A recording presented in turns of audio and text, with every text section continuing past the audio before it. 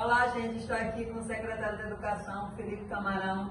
Vim até aqui ao gabinete fazer algumas reivindicações. Ele está aqui para dar um recadinho para vocês. Olá, Pinheiro. Eu estou aqui com a nossa vereadora e nós conversamos aqui sobre importantes parcerias para a nossa cidade. E para você, do Sindicato de Pescadores aí também de Pinheiro. Teremos cursos do IEMA Vocacional, teremos parceria com Rua Digna e muito mais novidades. Vocês podem esperar que o ano 2021 será muito bom. Pode contar comigo, viu, vereador? Avante!